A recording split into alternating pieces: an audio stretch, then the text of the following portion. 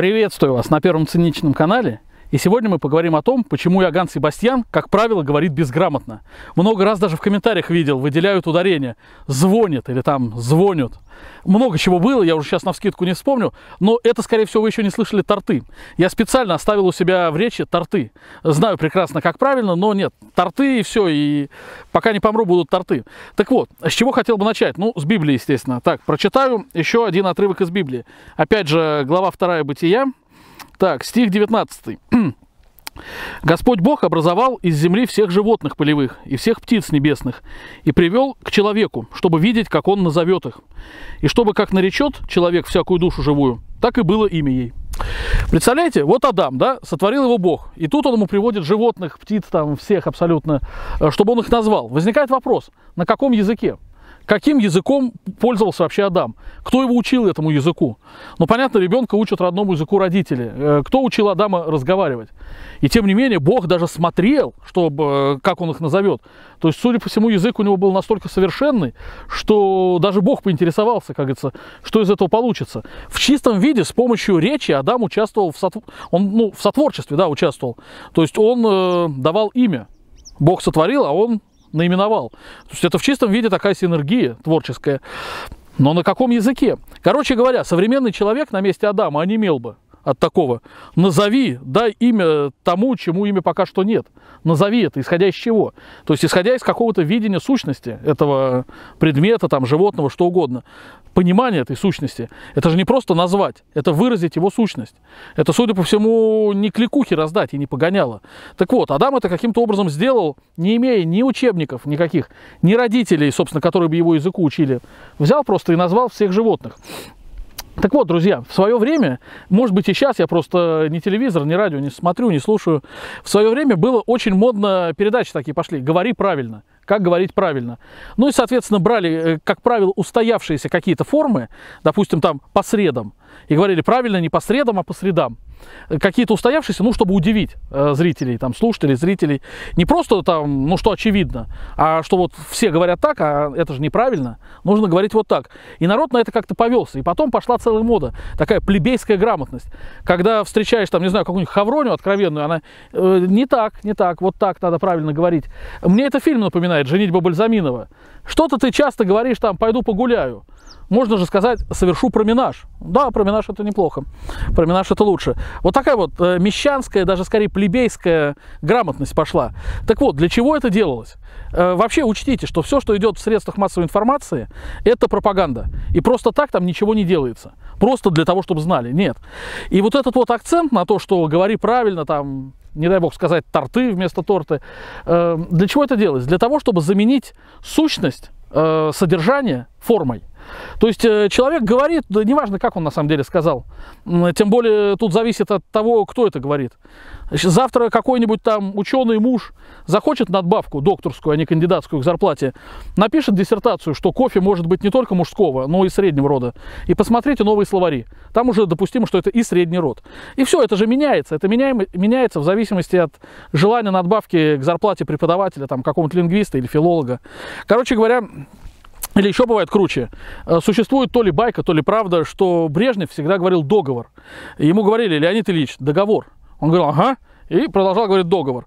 И, ну, не может генсек ошибаться, понимаете? И изменили в словарях. Э, сделали двойное ударение, что можно и так, и так. Вот во времена Брежнева вроде бы были словари, где допускалось договор. Короче, это дело неблагодарное, грамматика. На самом деле, это, ну, как мода. Кто-то просто определит, что вот так, и все.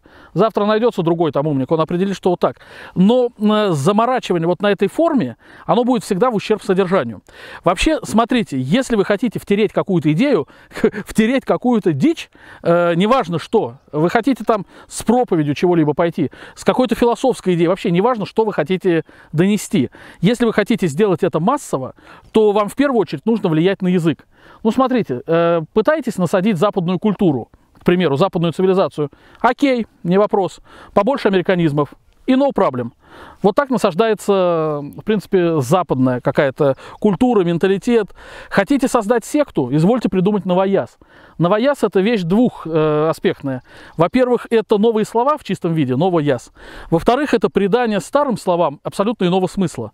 То есть слово, которое уже использовалось, здесь оно обретает там полностью другой смысл. Вот так создаются секты. Это один из признаков э, сектантского мышления, мышления на новоязе. Короче, контролируешь язык, контролируешь мышление. Контролируешь мышление, контролируешь поведение. Если правильно делать э, акценты на контроле речи, то все будет нормально. Какая м, идея, какой контроль осуществляется с помощью вот этого насаждения такой плебейской грамотности?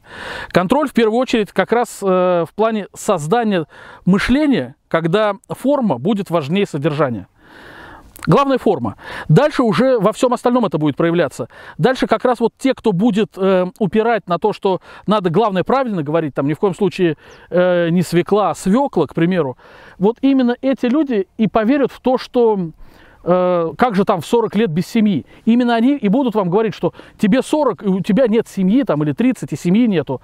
И при этом посмотришь на них, так у них тоже нету. Они платят алименты, или же, ну, может быть, у них по, по форме как раз есть семья, там, печать в паспорте есть, но это же не назовешь семьей.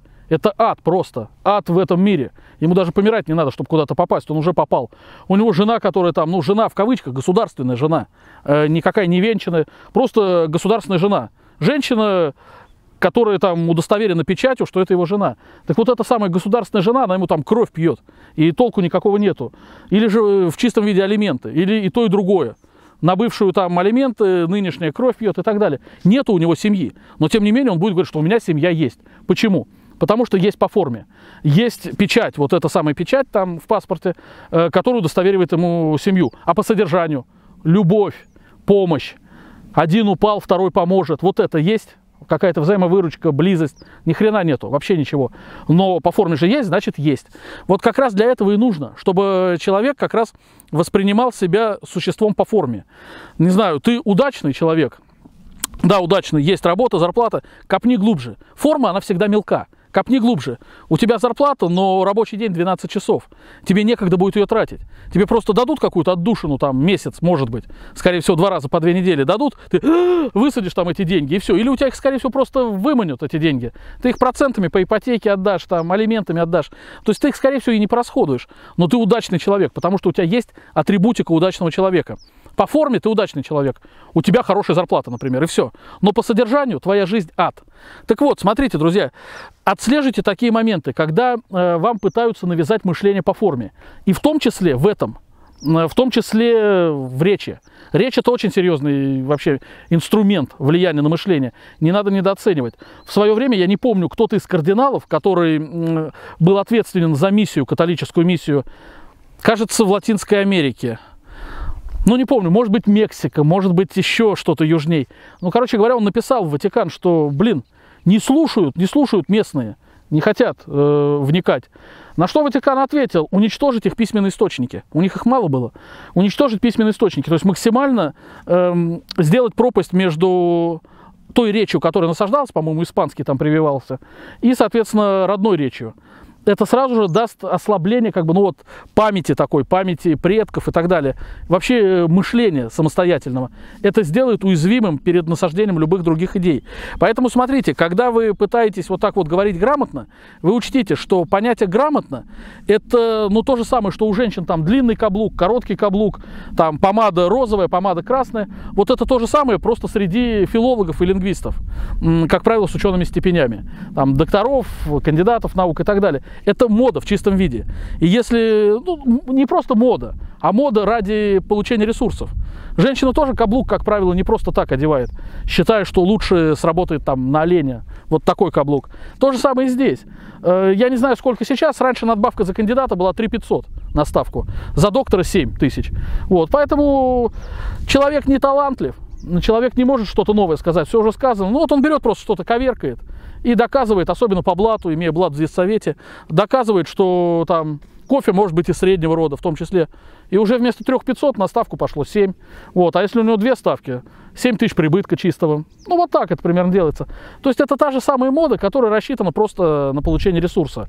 Э, но для системы эта мода важна. важна, э, потому что вы будете форму, форму хватать, но не содержание. Короче говоря, хотя бы вот такое, ну, какое-то природное отвращение должно быть, что какой-то один там балбес откровенный со степенью доктора наук придумывает что-то, а все остальные начинают так умно кивать, что да, блин, говорить надо правильно.